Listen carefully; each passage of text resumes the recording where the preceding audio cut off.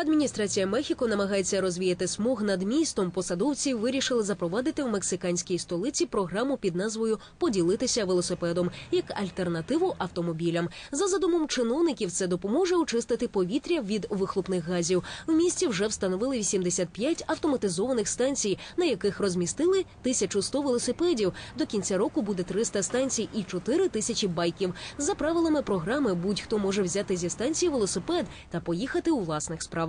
Головне, аби транспортний засіб залишили на одній зі станцій після того, як потреба в ньому відпала. Я працюю в офісі неподалік від такої станції з велосипедами і щодня користуюся програмою. Мушу зазначити, ефект колосальний. По-перше, я приїжджаю на роботу вчасно, адже мені не доводиться стояти в заторах.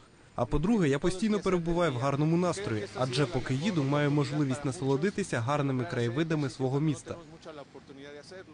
Також чимало родин беруть по кілька байків на вихідні та просто катаються на них по місту.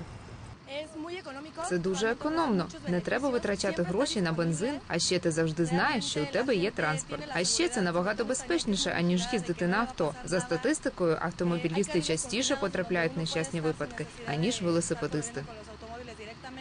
Також у Мехіко в неділю перекривають автомобільний рух, аби спонукати мексиканців їздити на велосипедах, бігати, ходити пішки або кататися на роликах.